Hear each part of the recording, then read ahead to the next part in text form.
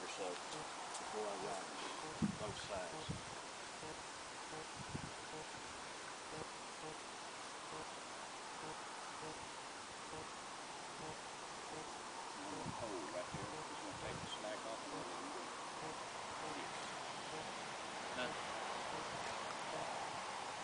So I'm gonna pull, I'm gonna bring his head around a little bit. Hold till he takes the slack off, let him go, but I really want him to duck down, touch his chest and say yes, master. I'm gonna wiggle the rope, bring his head around, hold, wait for him. I'm gonna wait right there, say, he said yes, master, I let him go.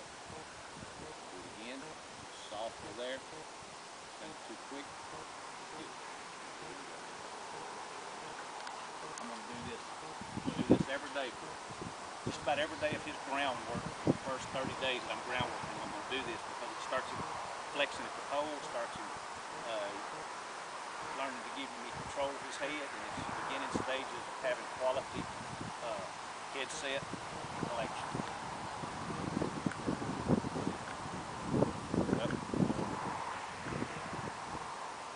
He tried to touch me then, that wasn't really what I wanted, he was trying to take his head back, he thought he paid his price. I want him to try to touch his side. That was pretty poor effort. Rest again. Okay, that's what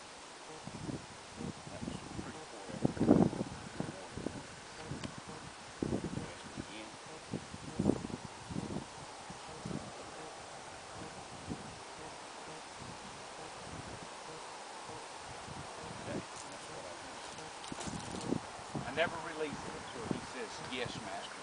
He gives me the release first, comes in. Because if you don't, then you have to pull him with a bridle. Now when I get on him and do this, it's gonna be a lot easier. He ain't gonna run sideways all over the back. Okay. That's kind of it.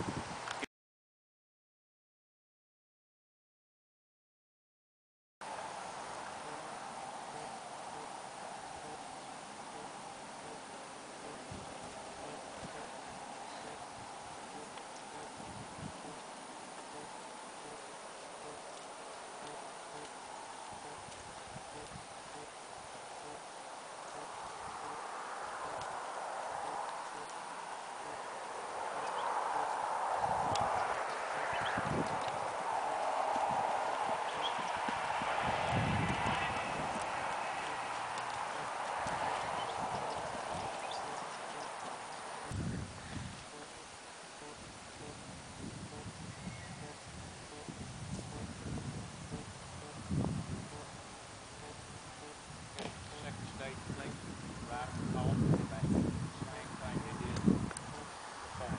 Come here, release, tighten my leg up, very gently just push the first right on. Flex the hole right here, let her give. Flexing happens over, or collection happens over six months. It's turn, starts with them softening on the bridle, letting you have control of the head. That little tiny dip right there breaking at the poll, teaching them to break the poll. The other side of the top of the leg, pole right here. Wait till she dips. Wait on her.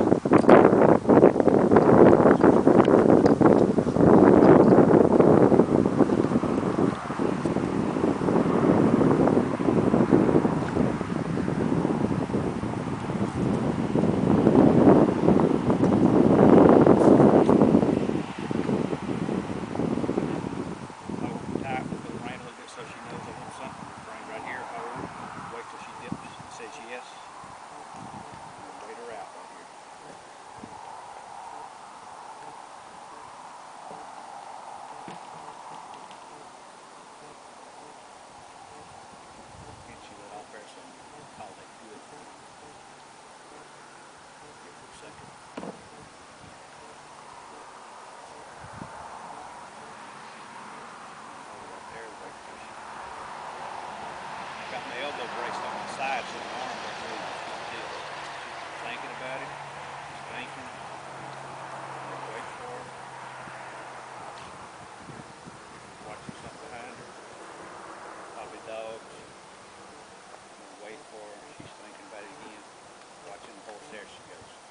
so you need that little release, that little dip for her to kind of break at the poll and learn to break at the poll. And I'm gonna do this every day for like a week with this halter. Then I'm gonna go to a snapper and do it for a week or two with. And then I'm gonna uh, ride it on the trail and do it with the snapper combination shanks.